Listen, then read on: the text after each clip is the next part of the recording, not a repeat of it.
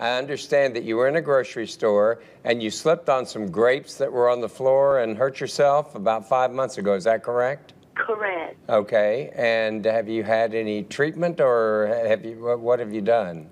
I have went to the doctor on my own, and I'm still going to the doctor. I did Okay. an incident report in the store. The manager said he'll get back in contact with me, but he never done. Okay. And I'm trying to forehead on and see what he's gonna do before I took the legal action. Okay, so it's been about five months since all this happened. She filed an incident report, I understand. What does she need to do now? No, apparently, nothing has happened.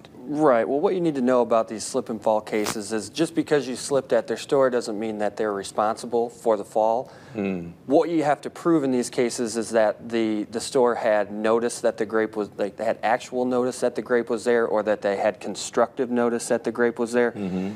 Meaning that either they had to have actually known it was there or it was there for such a period of time that they should have known that it was there. If you can prove that, then you can, you can put them on the hook for your damages.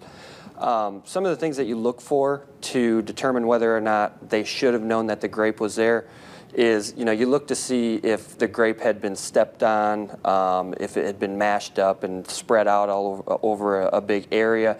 In a situation like that, you would think that somebody from the store would have walked by and seen it.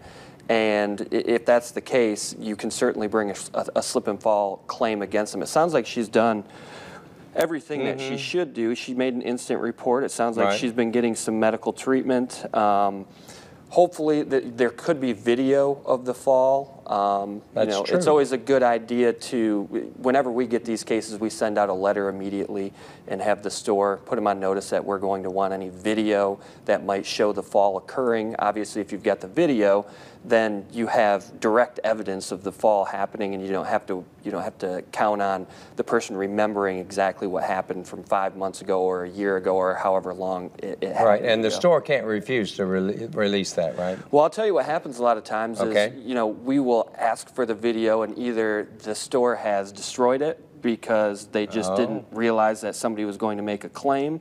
But in this case, there was an incident report made, so they should have saved it. Or I've actually seen sometimes where the, the store will, the manager will say, well, I looked at the video and it didn't show anything, so I went ahead and destroyed it. At that point, it's, you say to them, well, I would have liked to review it before you destroyed it. So it, it is always a good Mm-hmm. But idea there's to nothing criminal for the store to destroy the tape, is it? It's not, it's not criminal, but there are some ramifications that could create. um, you know, Could cause them some problems in court. It could create, create some presumptions of negligence on the part of the store if the video has been destroyed.